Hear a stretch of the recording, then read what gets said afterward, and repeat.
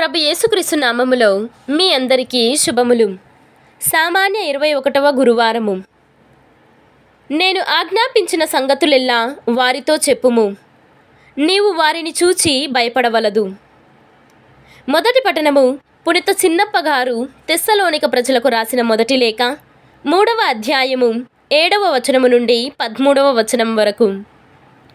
మొదటి పట్టణము పునిత చిన్నప్ప గారు తెస్సలోనిక ప్రజలకు రాసిన మొదటి లేఖ మూడవ అధ్యాయము ఏడవ వచనము నుండి పదమూడవ వచనం వరకు.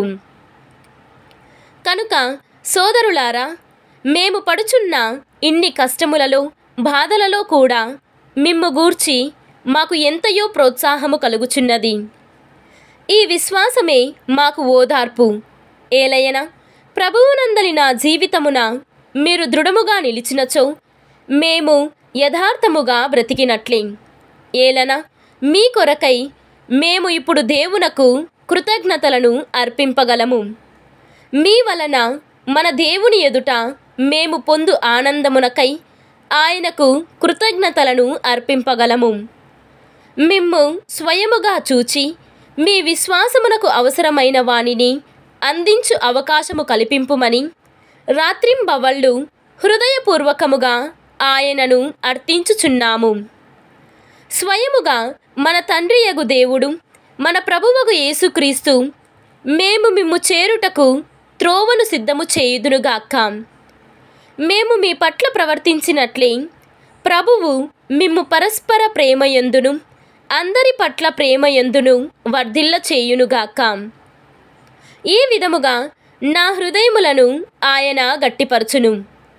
మన ప్రభువగు యేసు ఆయన పరిశుద్ధలతో కలిసి వచ్చినప్పుడు మన దేవుడును తండ్రియును అగు ఆయన సమక్షమున మీరు పరిశుద్ధత విషయమై నిందింపబడరు. ఇది ప్రభువాక్కు సర్వేశ్వరునికి వందనములు. భక్తి కీర్తన. ఓ ప్రభు మమ్ము నీ ప్రేమతో నింపుము. మేము సంబరముతో కేరింతలు కొట్టుదుము. ఈనాటి సువిశేషము పునీత మత్తయ్య గారు వ్రాసిన సువిశేషము ఇరవై నాలుగవ అధ్యాయము నలభై రెండవ వచనము నుండి యాభై ఒకటవ వచనము వరకు. కనుక మీరు జాగరూకులై ఉండుడు.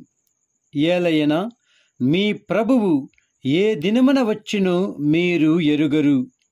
దొంగ ఏ గడియల వచ్చినో ఇంటి యజమానునికి తెలిసిన ఎడల అతడు మేల్కొనియుండి తన ఇంటికి కన్నము వేయనీయడు. కనుక మీరును సిద్ధముగా ఉండుడు. ఏలయన మనిషి కుమారుడు మీరు ఊహింపని గడియలో వచ్చును. విశ్వాసపాత్రుడును వివేకవంతుడును అగు సేవకుడు ఎవడు? యజమానునిచే తన ఇంటి పనివారికి వేలకు భోజనము పెట్టుటకు నియమింపబడిన వాడే. యజమానుడు ఇంటికి తిరిగి వచ్చినప్పుడు తన కర్తవ్యమునందు నిమగ్నుడైన సేవకుడు ధన్యుడు. యజమానుడు అట్టివానికి తన ఆస్తి అంతటా యాజమాన్యము నొసుగునని మీతో ఒక్కానించుచున్నాను. సేవకుడు దుష్టుడైనచో యజమానుడు చాలా కాలము వరకు తిరిగి రాడని తనలో తాననుకొని తన తోడి సేవకులను కొట్టుటకు త్రాగుబోతులతో తినుటకు త్రాగుటకు మొదలెడును.